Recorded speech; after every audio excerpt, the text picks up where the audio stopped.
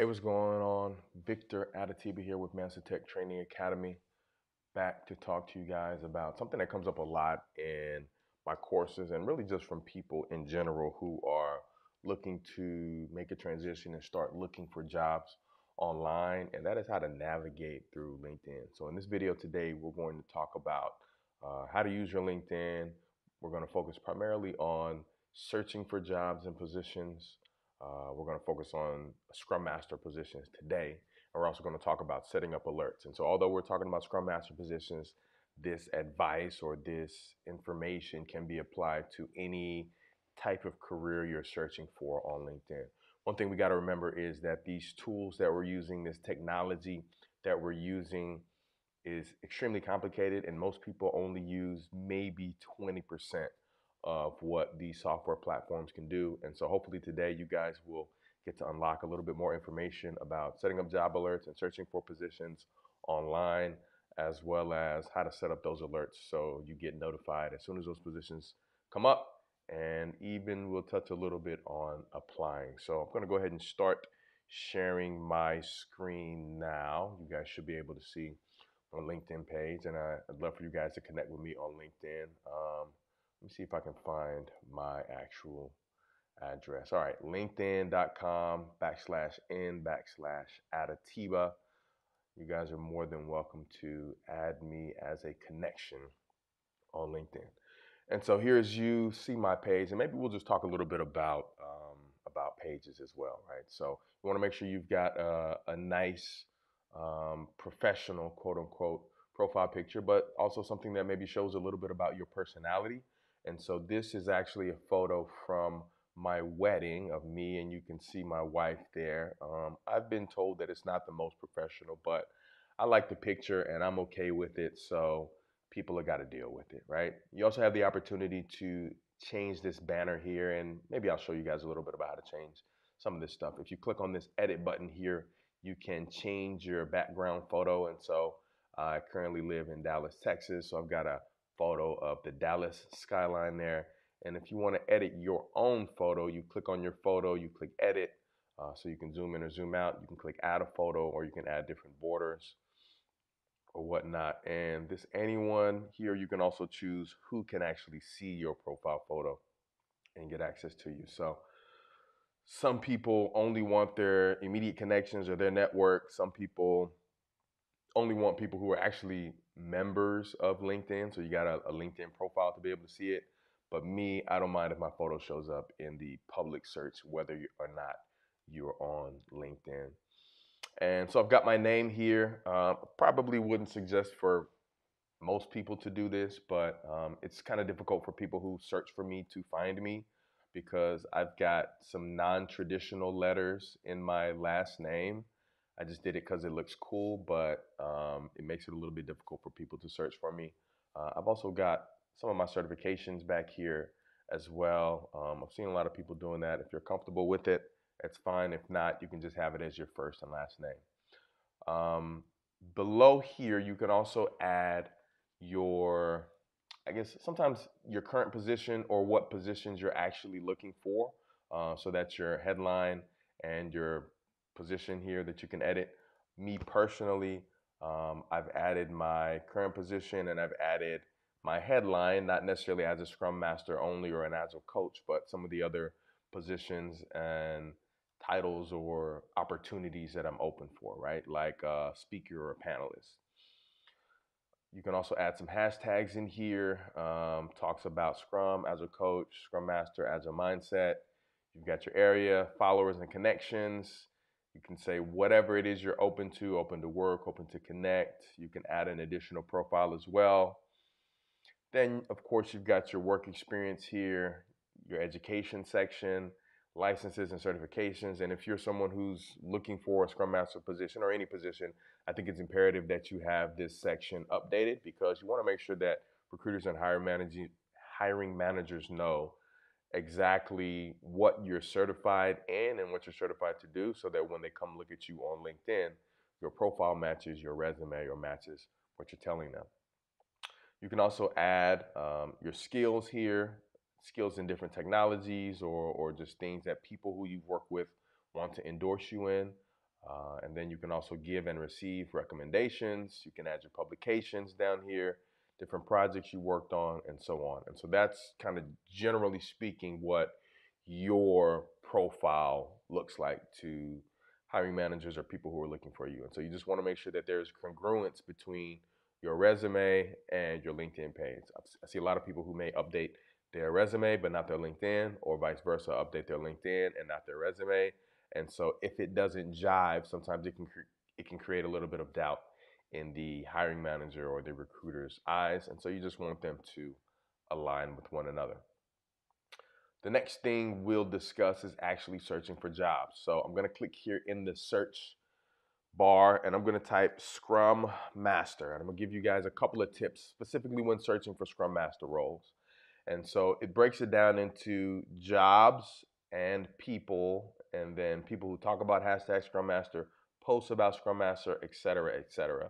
So I'm going to specifically focus on jobs. So I'm going to click see all job results in the United States. And right off the bat, I can see that there are 109,000, almost 110,000 Scrum Master jobs in the United States currently hiring. I'm going to give you a quick hack. I've searched Scrum Master as two two words. I'm going to delete the space and search it as one word, and this is going to bring up another 107,000 results. And this just lets me know that when some hiring managers or recruiters or staffers are posting these positions online, sometimes they use Scrum Master as one word, sometimes they use it as two words. So you're want to make sure that you set up alerts and notifications for both of these. So between those two, that's about a little over 200,000 Scrum Master jobs available strictly in the United States. All right. So if you want, you can come in and filter it a little bit more. So you can set the date that it was posted. So you can say anytime, you can say within the last week or within the last 24 hours. So let me go ahead and click on within the last week, and it's going to filter it down to 48,000 results. Good, good. If you want to select it by experience level, um, you can click uh, entry, associate, and mid level. And so we're just going to do some general filters here. You can also filter by the company. And so all of the companies will pull up. And so if there's a specific company that you know you want to work at, you could set an alert for that specific company. Um, if I was going to select Wells Fargo, maybe Epic, we'll say US Bank and Tesla. I can click show 1K results. And so now it's going to pull up 1,000 jobs available for these four companies within this experience level that was posted within the last week. And so even if I filter it down just to Tesla, it pulls up 446 positions. So I'm going to remove this posting because most people who are searching for a position don't I don't want to say don't care, but aren't so much concerned about the company that they wind up at. They just want an opportunity to get with the company, get with the team, and uh, help the team deliver value. You can also select the job type. So you can say full time, part time, contract, temporary, volunteer, internship, or other. And this is a big one that a lot of people are interested in. You can select on site, which means you're going to be required to be in the office working on location for five days a week. You can also select remote, which means that you're going to be working remotely from home or from, from a virtual office somewhere 100% as well. The third one is hybrid. And so hybrid means that they're going to be a mix of the previous two. That means you may come into the office for three days a week. You may be able to work remotely for two days, or vice versa. You may come into the office two days a week and they'll allow you to work remotely for three days a week. So just depending on what you're looking for, what kind of fits your style. I know with a lot of the students that I've got right now, majority of the positions that it looks like they're getting offered are either hybrid or remote for some of them. And so we're just going to filter out the on-site positions. And again, you're going to set these filters and these parameters based on exactly what it is you're looking for. Everyone's situation is different what everybody needs is different. And so you're going to set these filters based on what it is that you need. And so now this has filtered it down to a total of 16,996 results. Perfect, right? And so if you wanted to, you could go ahead and start applying now. And so what I'll do is I'll apply or start the application process to a couple of them. So this is a position for an agile coach, and you can see here it's based out of Chicago, hybrid. Uh, posted two days ago. There are currently 30 applicants, so you can see how many people have applied to this position already. It pays between 70 to 80 dollars an hour, just kind of depending on kind of what you negotiate and maybe your experience and certifications. This company looks like it's got between 1,000 and 5,000 employees, and these are the skill sets that this position is looking for. If you click on the job uh, or any of these details, it will take you in a bit deeper and show you a little bit more information. And so these are all of the skills that it says they are looking for. And if you wanted to, um, it looks like I've got this one skill because it says one of 10 skills matches my profile. So I've got this phrase or this term on my profile. If I wanted to, I could add some of these additional terms or skills to my profile to make me quote unquote more of a match, right? I'm not going to do that now, but you're more than welcome to do that. I can either save this position after I've clicked on it, or if I see this button that says the LinkedIn logo with easy apply, I can easy apply for the position. So if I save it, that means I'm probably going to come back to it later and apply. I wouldn't necessarily advise doing that unless you're coming back to apply within the same day, just because sometimes these postings get taken down once they get a bunch of responses. So if they get up to maybe 40 or 50 responses, they may disable the posting. So it may not be here when you get back. If we scroll down just a little bit lower, we can see who the hiring team is. So we can see that the recruiter is Grace. She's a third connection of mine. I can read a little bit about the job description itself. Um, I can set alerts for similar jobs here. Um, employer has provided this pay range. Um, I can get my re- re- resume reviewed by uh, LinkedIn. And then I can also see, because I've got premium, I can see how other applicants compare to my application. So 30 total applicants, 18 applicants in the past day. Um, most applicants have these skills, six out of 10. Agile methodologies, which I won't even get into that phrase. Uh, Scrum, management, project management, leadership, Agile project management, um, 22% of the applicants have a master's degree um, of business administration, similar to me. 35% have a master's degree, 35% have a bachelor's, 8% have other degrees. This is the seniority level. This shows me where they're located in the United States. Um, see if Epic is hiring people like me. So it shows me total employees and you know how I kind of align with them. Then it'll show me this company's um, LinkedIn page and I can go look at pictures and see who works there and the type of culture that the company has. And then it'll show me similar jobs down below if I wanted to apply. And so if I were going to apply to this position, this one is easy apply, so this is going to be a bit easier than most. So I can click easy apply and it's going to pull up and populate all of the information from my profile. So it's got my phone number, my email address. I can click next and it's going to ask me which resume do I want to use. So I've got a few different resumes posted here uh, 2020 resume, 2022, 2023. And the great thing about LinkedIn is that it remembers your resume or stores them here. If you wanted to upload another one, you would hit upload resume.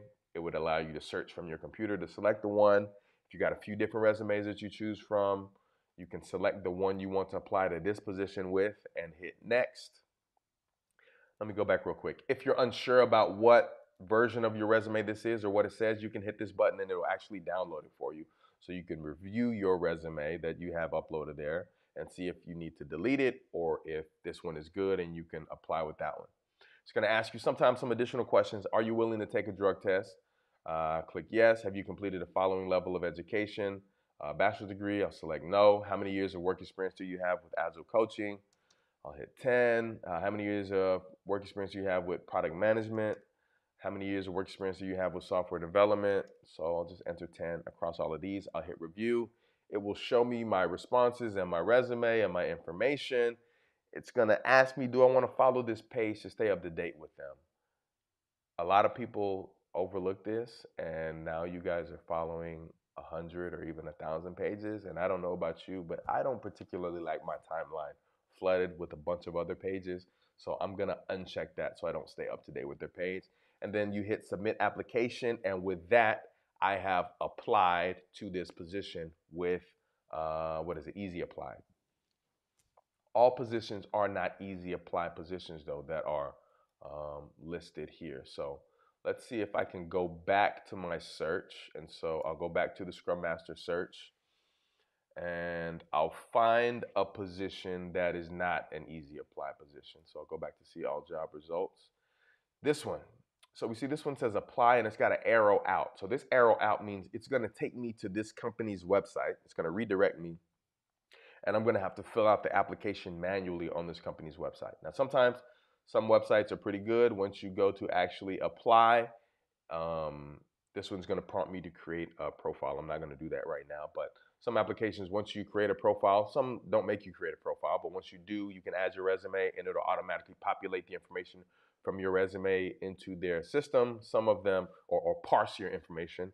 Um, a lot of them don't though, and so it can be kind of redundant entering that information in two times. And so I'm not going to do that right now, but I think most of you guys have done that at some point before in your career. Let me see if there are any other ap- application methods that you can use. So it doesn't look like there are. I think it's just the easy apply. And so even if you want, you can hit this easy apply filter button here and it will only pull up the positions that are easy apply. And so this is 21,000. Uh, I didn't add any of the other filters like the date posted or experience level. But with these, you can now go down this list and hit easy apply. And again, just enter in a little bit of information, select your resume. It's going to ask you these questions. Uh, I'm not going to enter them, but once you enter them, you won't have to go through that long process that most people hate of filling out that manual application uh, on a company's website. So if you want to use that filter, you're more than welcome to use that filter as well. Um, let me see. What other tips can I give you? A couple of other tips about Scrum Master position. So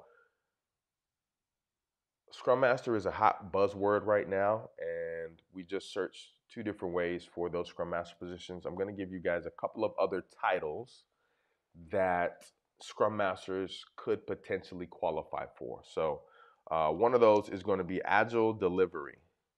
And you can do Agile Delivery or Agile Delivery Lead. And so I'm going to search. And so this pulls up, and I'm going to unselect Easy Apply. This pulls up over 17,000 jobs that have the the word or the phrase Agile Delivery in them. And so if I go and look at maybe one of these, like this was IT Project Manager slash Scrum Master. They are looking for a Scrum Master or some sort of hybrid role that is the Scrum Master. Um, so this is 17,000 other positions that probably wouldn't have come up if you just search Scrum Master because the title is not Scrum Master. Another one uh, you could type in is Agile Delivery Lead, and so this pulls up 14,000 results. Another one you could search for was Agile Project Manager, and this is going to pull up 299,000 results. So 300,000 plus one. So this is over half a million jobs that you would potentially qualify for as a Scrum Master that are currently listed on LinkedIn. This one says Project Manager, and if I go down to sometimes when I go through some of these and look at the description or the requirements, it will say like CSM or PSM or SSM as the certification that they're looking for you to have. Or it'll say PMP or um, PMP or CSM, right? You could also just look for a project manager position. And although companies who are running traditional waterfall, sometimes they're trying to transition over to uh, agile, and so they will hire scrum masters to kind of help them move that um, way of working that they've been doing traditionally to a little bit more agile way of working. So um, for project manager, it's 299,000 results. And so I would advise you guys to get on here, search for these positions. You guys can also see what they're paying.